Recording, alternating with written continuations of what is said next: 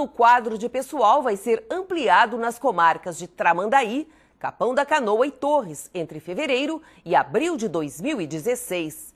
É neste período de férias de verão que ocorre grande aumento populacional no litoral, o que repercute no trabalho desenvolvido pelo Poder Judiciário. No total, o reforço vai ser de 56 servidores a mais na região.